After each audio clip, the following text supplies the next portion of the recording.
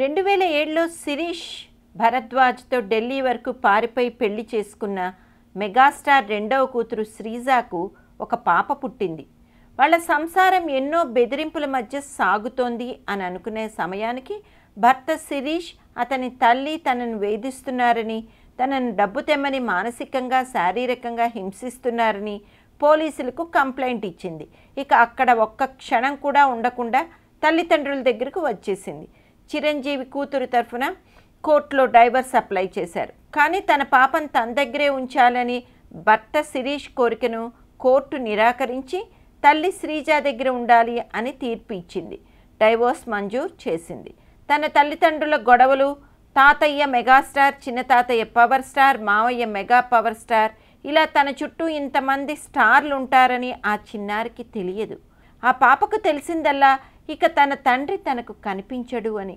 కానీ విచిత్రం ఏమిటంటే కొద్ది రోజుల్లో తనను తనతో తీసుకొచ్చిన తల్లి కూడా తనకు కనిపించదు అనే నిజం ఆ పాపకు తెలియదు. శ్రీజ రెండో పెళ్ళి చేయాలని నిర్ణయించారు చిరంజీవి. పెళ్ళి కొడుకు యుఎస్లో ఉంటాడు. అతని తల్లిదండ్రులకు నెల్లూరులో బంగారు వ్యాపారం ఉంది. మరి ఇంత మంచి ఫ్యామిలీ ఇప్పుడు ఈ రెండో పెళ్ళికి ఎందుకు ఒప్పుకుందా అనంటే దానికి కారణం కళ్యాణ్. అదే పెళ్ళి కొడుకున్న సినిమా పిచ్చి. అతనికి శ్రీజ ఏంటి? ఎలా ఉంటుంది? ఆమెకి ఇంతకు ముందు పెళ్ళయిందా? కాలేదా? ఇదంతా అనవసరం. తాను చిరంజీవి అల్లుడైతే సినిమాలో హీరోగా నటించవచ్చు.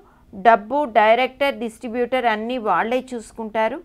సో శ్రీజాతో పెళ్ళికి రెడీ అన్నాడు కళ్యాణ్. ఇక శ్రీజాకు ఇప్పుడు తన పాపతో సమస్య వచ్చింది. పాప ఇంట్లో ఉంటే మగ పెళ్ళివారు నవ్వుకుంటారు.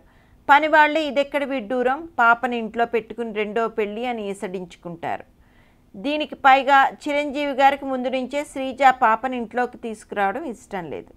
సో ఇక ఆ పాపను తమ ఇంట్లో ఉంచకూడదని అందరూ డిసైడ్ అయ్యారు. పెళ్ళికి ముందు ఎవరికీ చెప్పా పెట్టకుండా తీసుకెళ్ళి హాస్టల్లో చేర్పించేశారు. పెళ్ళి టైంలో పాప ఎవరికీ కనిపించలేదు. తల్లి శ్రీజ ఇప్పుడు పాపను చూస్తుందా లేదా సమాచారం లేదు. డబ్బున్న వాళ్ళ ఇంట్లో బంధాలు అనుబంధాలు టైంకు తగ్గట్టుగా మారిపోతాయి. ఇప్పుడు ఆ పాప అటు తండ్రి లేక ఇటు కొత్త తండ్రిని యాక్సెప్ట్ చేయలేక తల్లి ప్రేమ కోసం పరితపిస్తూ ఉంటుంది. మీ సరదాలకు పెళ్ళిళ్ళు చేసుకుని ఈ పసిపాపల్ని ఎందుకు శిక్షిస్తారు అనేది ప్రశ్న.